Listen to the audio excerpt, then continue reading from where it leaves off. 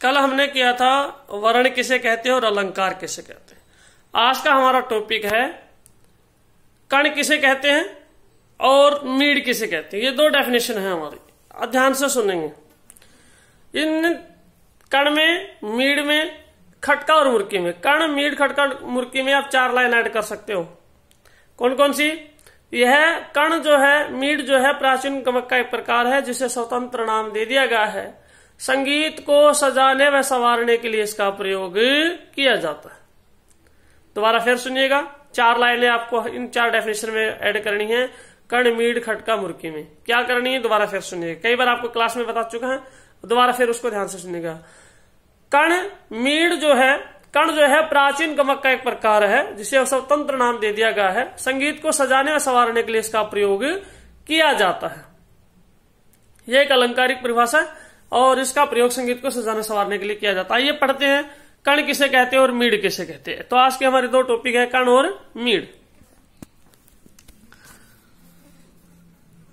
कण, जब किसी एक स्वर को मूल स्वर मानकर उसके आगे या पीछे के स्वरों को थोड़ा सा स्पर्श किया जाता है तो उस क्रिया को कण कहते हैं। कण स्वर, मूल स्वर के ठीक आगे या पीछे का स्वर होता है। यह स्वर मूल स्वर से दूर का स्वर भी हो सकता है, परंतु मूल स्वर से कण स्वर की दूरी जितनी अधिक होगी, उतना ही कण स्वर का लगाना मुश्किल हो जाएगा। कर्ण क्रिया को करते समय अति शीघ्रता का प्रयोग करना पड़ता है। अगर कर्ण स्वर की दूरी मूल स्वर से ज़्यादा होगी तो यह क्रिया शीघ्रता के साथ नहीं हो सकती, नहीं हो पाएगी, और फिर कर्ण और मीड में अंतर करना मुश्किल हो जाएगा। कर्ण क्रिया एक अलंकारिक क्रिया है। इसका उद्देश्य मात्र संगीत की रचना को सजाना व संवारना है। कर्ण क्रिया दो प्रकार से होती है। अनुलगन पूर्वलगन कण और अनुलगन कण। पहले पूर्वलगन कण आएगा, बाद में अनुलगन कण आएगा। अनुलगन कण में मूल सवर के पीछे का सवर, कण स्वर के रूप में प्रयोग किया जाता है तथा पूर्व लगन कण में ठीक उसके आगे का स्वर कण के रूप में प्रयोग किया जाता है। अर्थात, वह कण स्वर जो मूल स्वर से पहले लगे, वो पूर्व लगन कण स्वर हो गया। वह कण स्वर जो मूल स्वर के पीछे लगे, वह अनुलगन कण हो गया। उसको इस प्रकार से लिखा जाएगा एग्ज़ाम्पल आपके सामने है। पूर्व लगन कण। मान लीजिए, मूल स्वर हमारा गा है तो गा से पहले क्या आता है? सा, रे। तो रे आया तो रे को, उसको ऊपर ऊपर की तरफ़, कण सवर को ऊपर की तरफ़ लिखा जाएगा।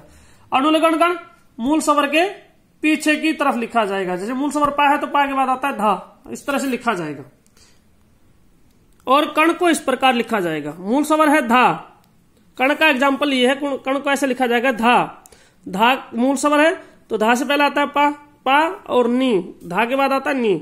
इस तरह से कण सवर के दाएँ और बाएँ, मूल स्वर के दाएँ बाएँ ऊपर की तरफ़ लिखा जाएगा। परिभाषा भी क्या कहती है? कर्ण वह कर्ण स्वर के आगे पीछे के सवर को स्पर्श मात्र करना, छूना ही कर्ण स्वर कहलाता है। कर्ण स्वर को स्पर्श सवर भी कहते हैं। कर्ण स्वर को स्पर्श सवर भी कहते हैं। कर्ण के प्रयोग से संगीत में रंजकता और विचित्रता आती है। अगली डेफिनेशन है आपकी, मीड किसे कहते मीड, किसी, वही चार लाइन इसमें भी आपको ऐड करनी है। वही चार लाइन कौन सी? मीड में वही चार लाइन ऐड करनी है। मीड प्राचीन गमक का एक प्रकार है, जिसे अब स्वतंत्र नाम दे दिया गया है। संगीत को सजाने संवारने के लिए इसका प्रयोग किया जाता है, क्योंकि एक अलंकारिक परिभाषा है। मीड एक अलंकारिक परिभाषा है। संगीत को सजाने संवारने के लिए, उसमें विचित्रता उत्पन्न करने के लिए, उसमें कोमलता लाने के लिए इसका प्रयोग किया जाता है। यह है आपकी मीड की परिभाषा। और आपके नॉलेज के लिए बताया जाए, मीड एक ऐसी परिभाषा है जो हमें शास्त्र हमारे शास्त्रीय संगीत को, हिंदुस्तानी शास्त्रीय संगीत को अन्य संगीत से अलग करती है और सर्वश्रेष्ठ बनाती है। आइए मीड की परिभाषा पढ़ते हैं। किसी भी किसी भी स्वर में तीन या चार स्वरों तक, आगे या पीछे कोमलता के साथ, ध्वनि को ध्वनि को बिना खंडित, बिना तोड़े, बिना खंडित किए उच्चारण करने की क्रिया को या गाने की क्रिया को मीड कहते हैं। दोबारा फिर सुनिए। किसी भी स्वर से तीन चार स्वर आगे, किसी भी एक स्वर को मूल स्वर मानकर तीन चार स्वर आगे या तीन चार स्वर पीछे, कोमलता सहित ध्वनि को बिना खंडित किए, बिना तोड़े, उच्चारण करने की क्रिया को, उच्चारण करने की क्रिया को मीड कहते हैं। मीड का प्रयोग गाने में तो किया ही जाता है। इसके अलावा तार के वाद्य यंत्रों में भी इसका प्रयोग अधिक मात्रा में किया जाता है। यानी कि गायकी के साथ साथ गाने में तो मीड का प्रयोग होता ही है। वाद्य यंत्रों में भी, विशेष करके तत्ववाद्य में, अर्थात तार वाले माध्यम में तार वाले माध्यम में वाद्य यंत्रों में किया जाता है इंस्ट्रूमेंट में किया जाता है, जैसे वॉयलन सारंगी, सितार, वीणा आदि, गिटार आदि। जिस स्वर में, जिस स्वर में मीड शुरू करनी है, उस स्वर से दूसरे स्वर की दूरी जितनी अधिक होगी, उतना ही मीड का लगाना आसान होगा। यानी कि मूल स्वर से मीड स्वर की दूरी अधिक होगी तो लगाना आसान होगा। अगर नज़दीक हुआ, आगे बढ़िएगा।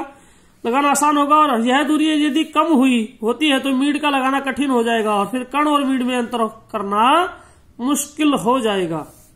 मीड को लिखते समय इस प्रकार लिखा जाएगा। मान लीजिए मूल सवर हमारे पास पा है तो पा से लेके तार सब तक के साथ तक की मीड दिखाई दी, दी गई है। इसके अंदर सवर कौन कौन कौन सी है? यहाँ पर पा से तार सब तक के साथ तक की मीड दिखाई गई है लेकिन गाते समय इनसे इसे ऐसे बोला जाएगा, पा, धा नीसा लेकिन लिखने में कैसे लिखा जाएगा? ऐसे पा और सा की मीड बीच के स्वर नहीं दिखाई देंगे। लिखते समय इंडिकेशन जब हम लिखेंगे, चिन्ह लगाएँगे तो इस तरह से लगाएँगे। पा, सा और ऊपर से उल्टा और चंद्रा का। और जब उच्चारण होगा तो पा, धा निशा चारों स्वर उच्चारण किए जाएँगे। इस तरह से शीघ्रता के साथ गाते बजाते हैं। मीड भारतीय संगीत की विशेषता है। इसके प्रयोग से संगीत में रंजकता, मधुरता उत्पन्न होती है। यह प्राचीन गमक का ही एक प्रकार है। इसका प्रयोग करके अधिकतर गायक और वादक अपने संगीत को सुंदर और मधुर बनाने की कोशिश करते हैं। अर्थात संगीत में जितनी भी रंजकता कोमलता देखते हैं, उसका कारण मीड ही होता है। देखिए, एक तो हम सिंपल तरीके से उच्चारण करते हैं सा का, या किसी भी स्वर का, या कोई भी हम सरगम गाते हैं, कुछ गाते हैं, सिंपली गाया। जैसे सा का उच्चारण, देख तो सिंपल सा का उच्चारण क्या है? सा रे, गा, मा, पा, धा, नी। अरे कैसे उच्चारण करें? सा, रे, गा, मा, पा, धा, नी, सा सा रे, सा। सा, रे, गा रे गा, रे, सा। गा मा सा मा स गा सा इस तरह से चरण किया जाए तो बहुत अति सुंदर लगते हैं। इसमें गमक और मीड का दोनों का इसमें प्रयोग है। तो मीड से संगीत में रंजकता आती है, कोमलता आती है और मीड के प्रयोग से संगीत में जो अद्भुतता आती है, जो विचित्रता आती है, जो स्वरों का आकर्षण बनता है, इससे ही संगीत में आकर्षण उत्पन्न होता है। संगीत बड़ा ही सुंदर और अच्छा लगता है। हम कोई भी गाना गाते हैं तो उसमें, कोई भी भजन या गीत गाते हैं तो उसमें मीड कण, मीड खटका मुर्गी आदि का प्रयोग होता है, जिसकी वजह से संगीत में आकर्षण उत्पन्न होता है। तो इस तरह से आपको कण और मीड की परिभाषा अच्छे से याद करनी है लिखकर देखनी है। आप सभी इस चीज़ को अच्छे से सुनेंगे और लिखेंगे। धन्यवाद।